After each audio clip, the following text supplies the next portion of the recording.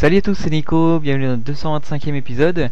Et euh, dans cette vidéo je vais vous présenter euh, le site mobile de Datoudou que j'ai euh, amélioré et bah, quasiment finalisé pour la première version puisqu'il me restait à mettre en place la modification de tâches. Donc quand on va accéder ici dans sa liste de tâches, je vais cliquer sur une de mes tâches, par exemple celle-ci, hop,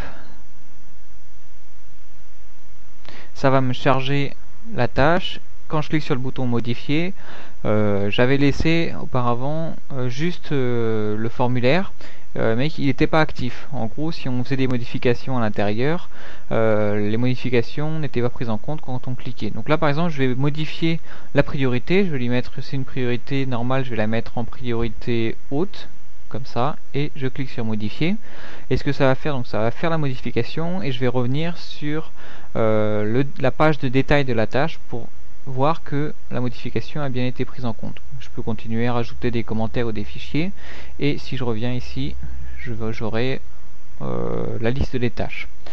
Alors comme vous le voyez c'est une petite modification, euh, de toute façon je compte pas faire un site mobile euh, sur lequel on ait vraiment toutes les possibilités, toutes, toutes les mêmes fonctionnalités que sur le site standard. je pense me limiter au minimum. Donc pour l'instant c'est ça le minimum. Et je verrai plus tard s'il y a des choses vraiment qu'il faut que je rajoute. Euh, par exemple je me pose la question sur la suppression de, tâches.